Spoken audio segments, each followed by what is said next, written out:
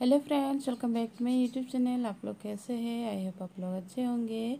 मैं भी अच्छी हूँ तो आज हम लोग आए हैं एक स्टाफ का, बच्चे की अन्नप्राशन में। तो मैं जहाँ पे लाइब्रेरी में काम करती हूँ, वहाँ पे एक स्टाफ है लेडीज़ स्टाफ उसकी बेटी की आज अन्नप्राशन है। तो ये है जो मिदनापुर का किरानी चोटी में एक लॉज में हम लोग को बुलाया गया था। तो ये जिस लॉज में उन लोग अरेंज किए थे, उसी लॉज का कुछ नज़ारा है। तो ऊपर में यहाँ पे देखिए, इस तरह से सजाया गया है और नीचे सब पार्टी हो रहा है मतलब लंच पार्टी हो रहा है। और उसके बाद ये नीचे का नज़ारा है। देखिए, अभी पूरा भरे हैं, सब खा रहे हैं। इन लोग खाने के बाद हम लोग खाएँगे। तो आने के टाइम में हल्का फुल्का बारिश हो गया है। अभी भी थोड़ा सा बारिश हो गया है। और हम लोग दोनों बेटी हस्बैंड और मैं आए हैं। ये देखिए, हम लोग यहीं पे खड़े हैं।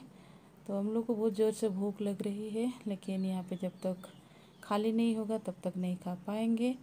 और बच्चे को जो गिफ्ट था ना, वो दे दी है, और बच्चे बहुत ही रो रही थी उसकी बेटी। और अभी सो गई है, उसको गोदी करके फ़ोटो भी नहीं खींच पाई। तो यहीं पे देखिए, सब आ गए हैं खाने के लिए। और आज का मेनू देख सकते हैं। पहले ही नींबू है ये है खीर है मीठा मीठा, ये मीठा पुलाव और ये है छोले, जो काबुली चना का सब्ज़ी, ये है दाल, आलू पटल की सब्ज़ी, ये है दही मछली और पापलेट मछली था और चिकन, यहाँ पे चटनी, ये है पनीर और दो टाइप का ये मिठाई था। बस आज का मेनू कुछ इस तरह सा तो पहले देखिए सब उठ जाने के बाद नया पेपर बिछाए, फिर प्लेट दिए प्लेट देखिए हम लोग का तीनों का तो अच्छे से मिल रहा है। छोटी वाली बेटी का थोड़ा सा डिफरेंट हो गया।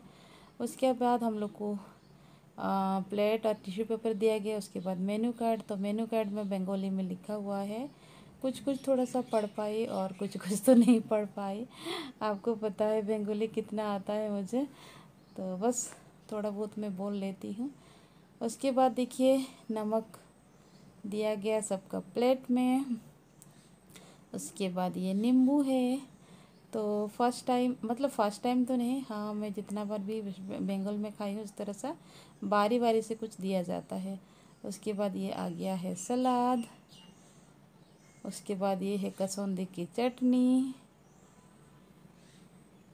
हम लोग कसौंदी की चटनी लगा लगा के सलाद खा रहे थे क्योंकि बहुत ज़र की भूख लगी थी। उसके बाद ये आया वेजिटेबल चॉप तो वेजिटेबल चॉप बहुत ही अच्छा लग रहा था क्रिस्पी क्रिस्पी गरम ही था। तो ये देखिए, ये कितना सुंदर है। उसके बाद ये आ गया है पुलाव। तो पुलाव के बाद अभी आ गया है काबुली चना की सब्ज़ी। बस मैं इतना ही रेसिपी का वीडियो बनाई हूँ। उसके बाद मैं खाना खा, लग गई। खाना खाने के बाद सबके साथ ये देखिए ग्रुप में हम लोग फ़ोटो खींचे। तो चलिए आज का ब्लॉग को यहीं पे एंड करते हैं। आई होप आज का ब्लॉग आप सभी को पसंद आया हो तो लाइक ज़रूर कर दीजिएगा।